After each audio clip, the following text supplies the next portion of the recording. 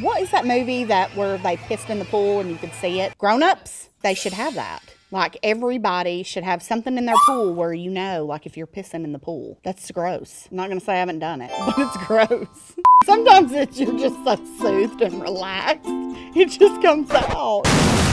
And then those that know the struggle of a one piece only bathing suit and having to peel that damn thing off to go to the bathroom, it's like, just piss in the water. It's fun. You look around at some of the people and you're like, oh my God, I don't want to be breathing their air, much less swimming in their piss.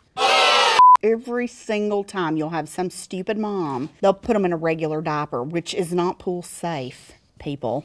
If you can afford to go into the community pool, you can afford to stop and get a couple swimmer pants so uh, your kids' turds aren't floating around the pool.